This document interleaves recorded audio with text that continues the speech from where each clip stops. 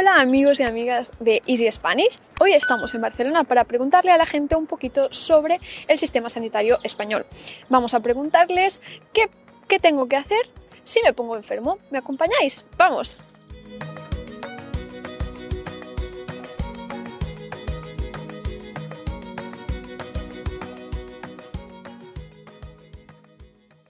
¿Qué opinas del sistema sanitario em, de aquí, de Cataluña o de España, si lo conoces?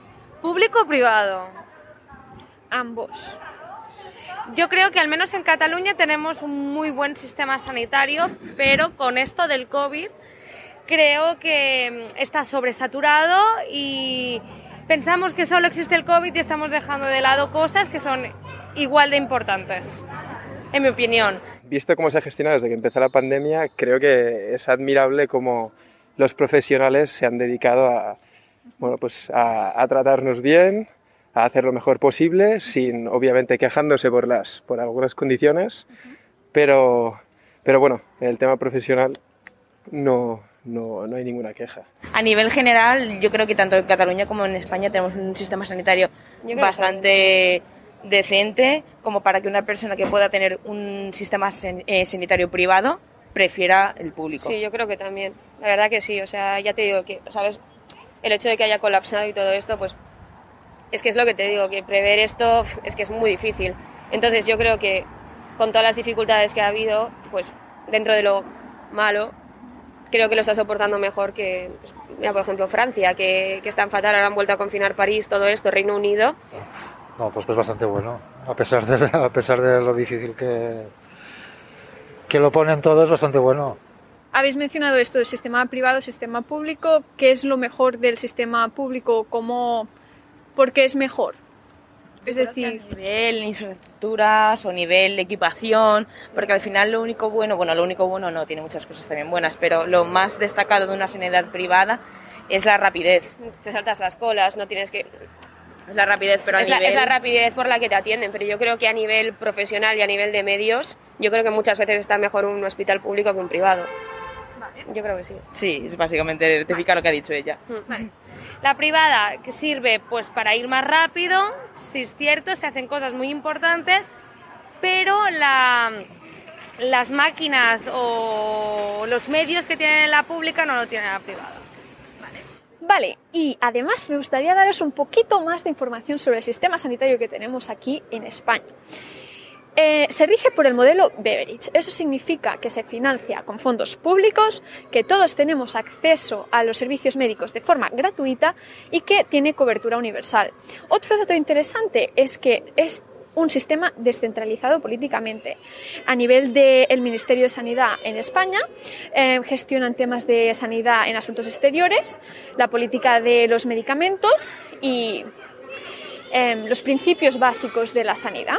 Por otro lado, las comunidades autónomas, como en caso de Cataluña, gestionan em, los servicios de sanidad pública que tenemos em, los usuarios.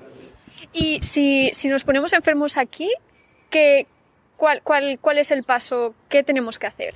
¿Cómo podemos acceder a la sanidad?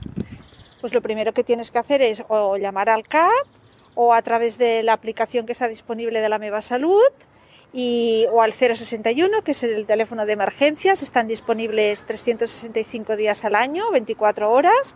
Yo cuando lo he utilizado, pues muy bien, y entonces ellos ya te derivan a todo lo que necesitas. Pues Hombre, lo primero ir al CAP, bueno, depende, si vas a la, mm, a la pública, ir al CAP y de allí te derivan, o si estás muy mal, ir directamente a urgencias. Y si vas a la privada, lo, mismo, puedes ir a tu médico mm, de confianza que conozcas o lo mismo, urgencias. Em, si nosotros nos ponemos enfermos o necesitamos ir al médico, ¿cuáles son los pasos que debemos seguir? Para una persona que no lo sepa, que sea de afuera o así como lo describiría.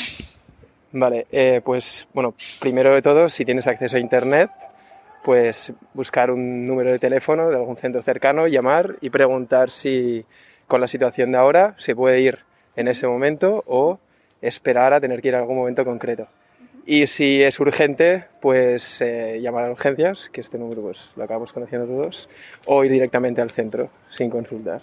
Pequeño inciso. Algunas personas nos han contestado que cuando estamos enfermos vamos al CAP. ¿Qué es un CAP? CAP se refiere a las siglas de Centro de Atención Primaria que tenemos en Cataluña. Para... ya, y ya está. Por cierto, ¿conocéis nuestra plataforma en Patreon? Allí encontraréis ejercicios, eh, listas de vocabulario, contenido detrás de cámaras y mucho más material para seguir aprendiendo y mejorando vuestro español. Podréis encontrar mucha más información haciendo clic aquí.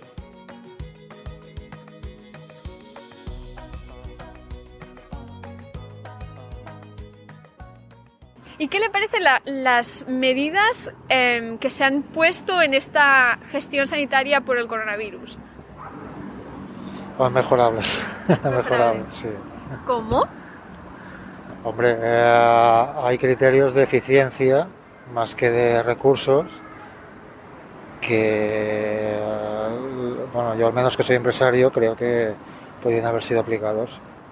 Mira, justamente aquí tengo un, un familiar hospitalizado yo, yo soy profesional también, yo soy enfermera, entonces desde un lado lo puedo entender porque hay que proteger pues, a los pacientes de la gente que entra de fuera a verse y todo, hay que hacer una protección. Pero como familiar de un paciente que está ingresado, lo estamos viviendo fatal. Por eso lo puede ver una persona siempre la misma y una hora al día. Entonces, yo llevo sin ver a mi padre una semana solo hablando por teléfono, donde solo informan a mi madre que nos han dado la opción que más adelante nos informarán a nosotras también, pero desde el otro lado es una desesperación.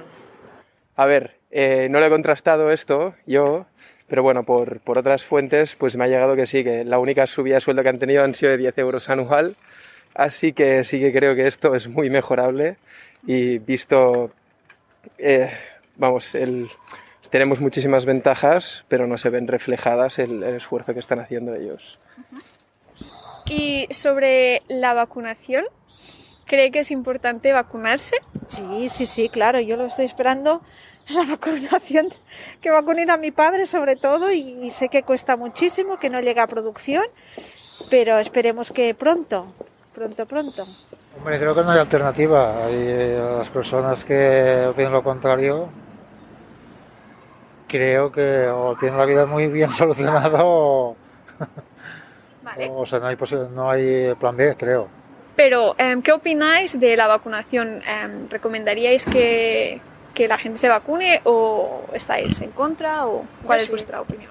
Yo sí, yo sí, yo recomendaría la vacunación. Sí, yo lo recomiendo porque ya no es tema de por uno mismo, sino por el resto de la gente, o sea, para ayudar tanto a la gente que puede tener mayor riesgo, que tú no les perjudiques a ellos, tanto también a nivel económico para que todo se ponga de nuevo en marcha. O sea, son muchos factores al final que de momento la única solución al parecer es la vacuna. Entonces, hasta que saquen un tratamiento más eficaz o lo que sea que descolapse UCI, todo esto, es que no lo sé. ¿La gente se tiene que vacunar o lo recomendarías? Bueno, yo estoy vacunada porque como soy profesional, pero es que yo creo que es la única manera de salir de esto.